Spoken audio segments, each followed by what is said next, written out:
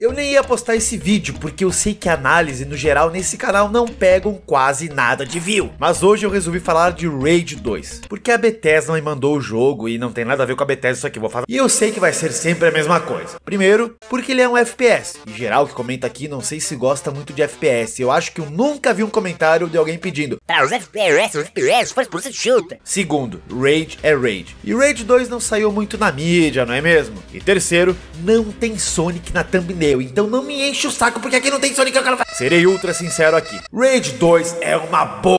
Uma bomba de emoção, animação, mecânicas incríveis e muito cringe pra dar e vender. Vocês lembram daquele vídeo de flops do ano? Jogos que eu comentei que poderiam ter flopado? Bem, eu coloquei lá os seguintes jogos. O Ethan, acertei. O Days Gone, é, eu errei, porque mais que o jogo seja ruim, muita gente acabou comprando ele. Bubsy, é, Raid 2. Esse eu errei feio, porque Raid 2 não só não flopou, como foi acima das minhas expectativas. E deixa eu falar um pouquinho dele aqui então.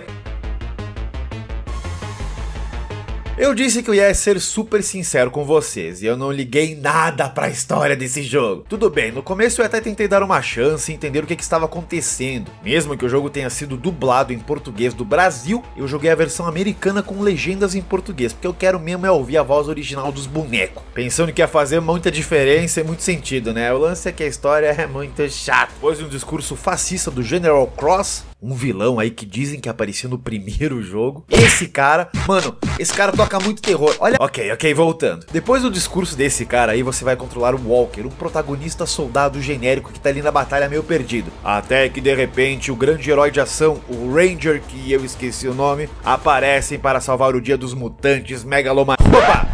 É, ele é o grande herói que morre. E o jogo é lotado dessas piadas. Aí então você pega a armadura dele e se torna o poderosíssimo Ranger Walker. Até que sua chefe BDS morre nas mãos do General Cross e cabe a você resolver tudo. Afinal, você é o escolhido, é o, sei lá, o que o Neo foi pra Matrix, o que o Tony Stark foi pro Vingar. E cabe a você matar o General Cross e se infiltrar na grande vilã do jogo, a Autoridade. Se interessou pela história? Nem eu.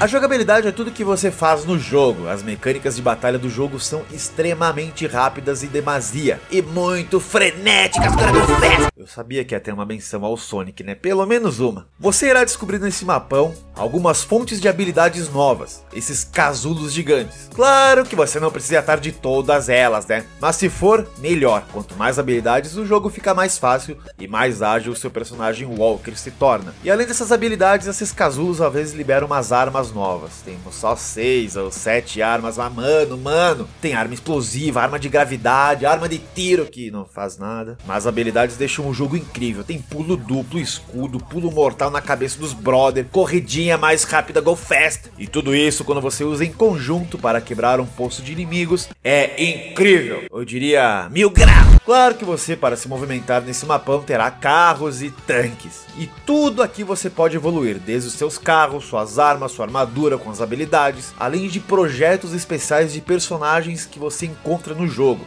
Esses projetos são nada mais do que habilidades, mas mais simples, como poder carregar mais balas, conseguir ver mais detalhes do mapa, tomar menos dano, e tudo é importante, não são habilidades que você não vai usar, a maioria delas você acaba usando sim, e só se dá conta da importância das mesmas depois de adquiri-las. E isso é Raid 2. Você terá objetivos como achar meteoros caídos, destruir comboios de carros, entrar em bases inimigas, se infiltrar em galpões escondidos e sujos com alvos de mutantes, destruir mutantes gigantes, destruir mutantes pequenos, destruir humano pequeno, chutar a cara de punk, chutar a cara de punk colorido, e tudo isso é muito divertido. Afinal, esse é um videogame. Como é que era, o jogo? Videogame! Exato, é um jogo de videogame. Eu sei que tem jogo que se leva a sério demais, mas Raid 2 sabe disso e ele faz piada com tudo. Ele sabe que é cringe. Ele sabe que é para ser divertido e ele faz você se sentir muito bem jogando. Afinal, você é o BDS protagonista Walker. E o Walker, o Walker, que nome mais genérico. Mas ninguém se importa, desde que você mate robôs, ande de tanquezinho destruindo mutantes e deixe os pan coloridos tudo em pedaços, vale a pena.